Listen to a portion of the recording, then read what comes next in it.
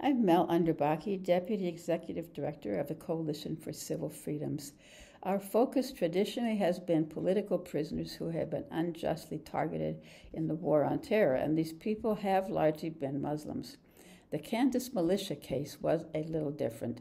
In this case, three militia members, Curtis Allen, Gavin Wright, and Patrick Stein, were accused of plotting to bomb an apartment complex in Garden City, Kansas, that was home to a number of Somali refugees.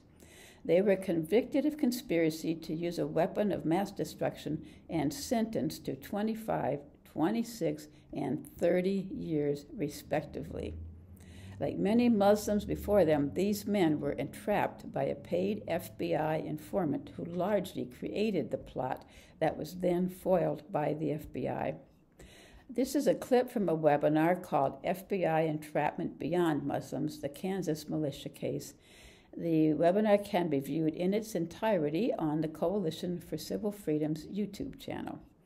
Uh, in this clip, Jim Pratt, one of Patrick Stein's attorneys, describes the actions of Dan Day, the informant who was paid by the FBI to gain this conviction.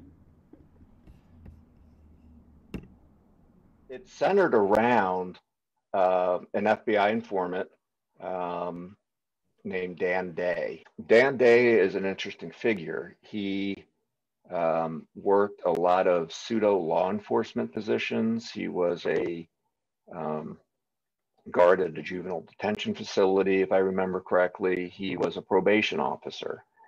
Um, and at the time he got involved with the FBI at the very beginning, um, he was unemployed. And he was paid, I believe he was paid around $15,000 for the arrests of the three, but he had been paid, and I think the number is about $11,000 prior to the arrest, and then he got the arrest bonus. Um, we still don't know what the conviction bonus was. There were periods of time where Patrick Stein disagreed with Curtis Allen. And Patrick Stein said, Look, I- am just done with this. I'm done dealing with these people. I'm tired of Curtis, you know, telling us what to do. And Dan Day would say, Look, you need to, you know, stick together for the cause. Um, is one phrase that he used quite often, you know, for the cause. Um, Dan Day was the only one who lived in Garden City. Patrick lived uh, in Wright, Kansas, out of Dodge City, and the other two uh, lived in Liberal. So was, there was all they're all about an hour away from each other. So Dan Day would continue to report on what was going on at this apartment complex in Garden City, and Dan Day it was Dan Day's idea to join um, the refugee organization that was there in Garden City to help these people, so he could get inside information. Uh, these were all things that Dan Day suggested he do to move this along, not Patrick or any of the others. Um, at one point, you know, Patrick said uh, about getting maps or, or aerial photography of uh, this apartment complex, and Dan Day didn't have a printer, so he went to the FBI to get it. Um, during trial, I asked uh, Dan Day, well, did you ever try to talk them out of this or say this isn't a good idea or or anything like that? And his response was that was not my job. That was not part of my persona, as he put it. Um, the same with the undercover FBI agent who uh, talked about getting making a bomb for them. I asked, did you ever say this isn't a good idea, or maybe we shouldn't do this, or you know, maybe your efforts are better spent here? And again, he said that was not my job. His job was to to get this to a point where they could charge somebody with attempted use of a weapon of mass destruction, uh, not just a conspiracy.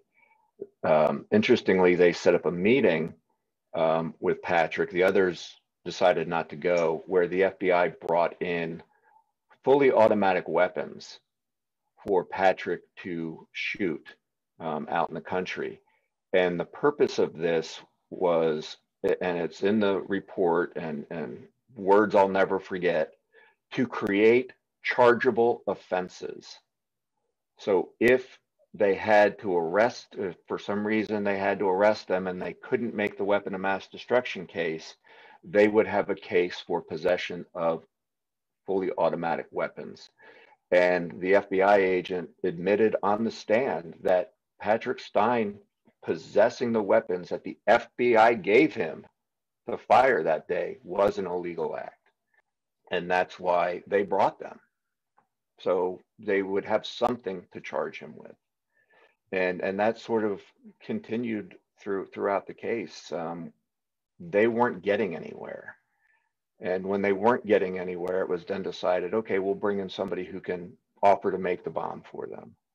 There was one tape where the FBI was giving Day instructions and um, on what to do at this meeting. You know, you need to get, I think it was, you need to get Curtis to say this.